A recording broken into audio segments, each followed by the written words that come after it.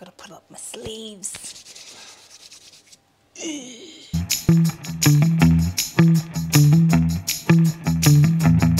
everyone, welcome back to AJ Living. Today I'm actually going to be making a keto coconut chocolate rough. I think that's how that that's pretty much keto chocolate coconut rough. Yes, keto chocolate coconut rough. Is it keto? Well, yeah, because I'm using sweetener and it's coconut. Okay.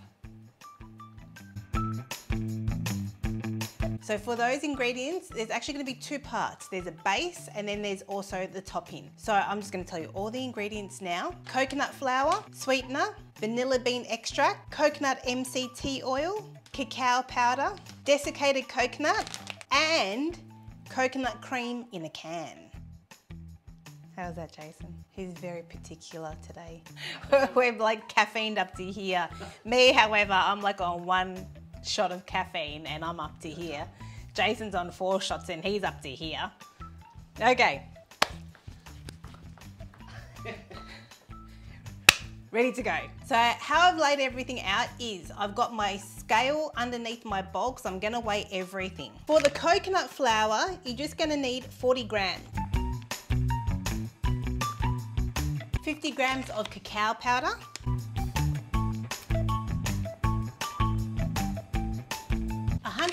Grams of desiccated coconut. And then I'm gonna add in 50 grams of sweetener.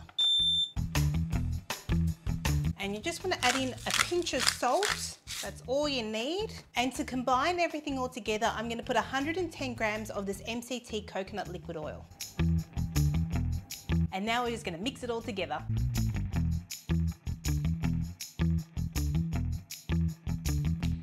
Mix it all together. Just be very gentle um, unless you'll get coconut and cacao powder and you never know what else all over you.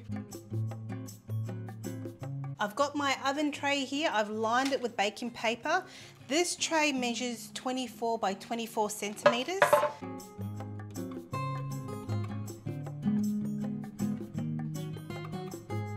And just pat it down.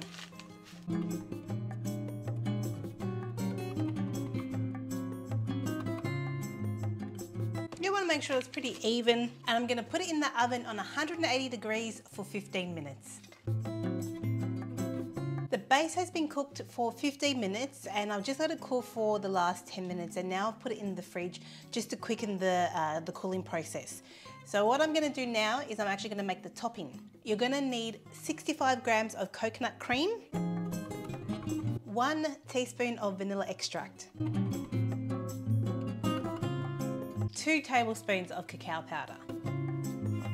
Jason and I don't really like our sweets to be too sweet, so I'm not sure how much sweetener I've got left, but I'm gonna use the rest of this, beat it all up, and then do a taste test to see if it's sweet enough. If it's not, I do have liquid stevia with me.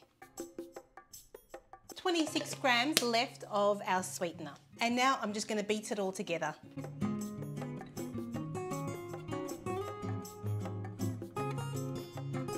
I'm gonna add in 80 mils of the thickened cream just because the mixture doesn't look thick enough to me and this will help it thicken.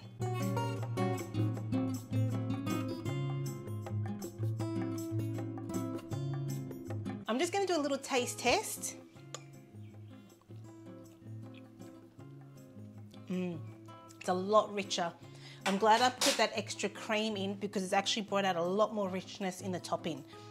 So we're just gonna see how we go with this, okay? Here is my base. It looks really, really good. It smelled amazing when it was being cooked. So it's all nicely firm and I'm just gonna pour my topping on it.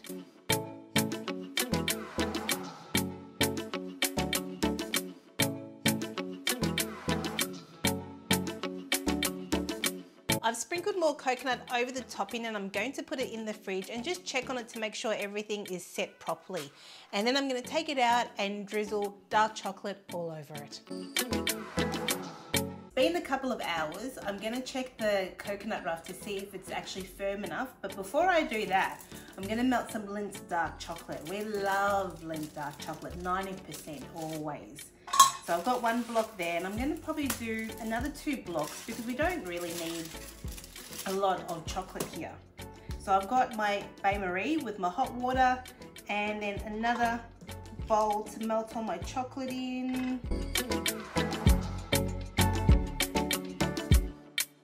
I'm just gonna put just a smidge of cream just to make it a bit more, more, if you know what I mean. A bit more. A bit more.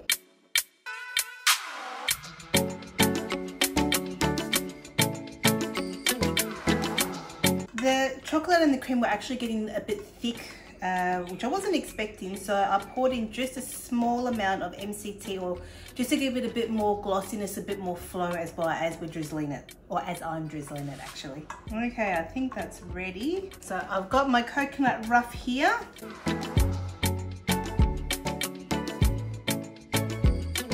Alright, I'm gonna put this back in the fridge, let it all harden up, and then at the end, we're gonna cut into it and have a taste test and see how everything goes.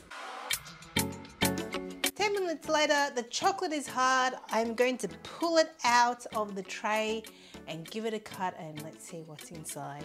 I'm just gonna call Jason over to do a taste test. So Jason, come on down. Hi everyone. Oh, this looks delicious. Mm, so pleased Can I go? myself. Yes, of course, go. Tell me, I've tell asking me. all day for this. Tell me. I wanna know.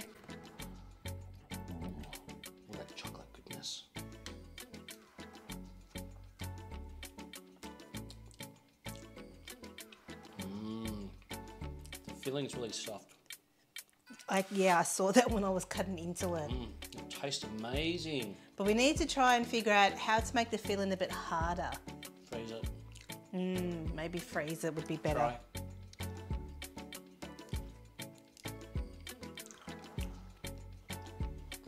Mmm, so good.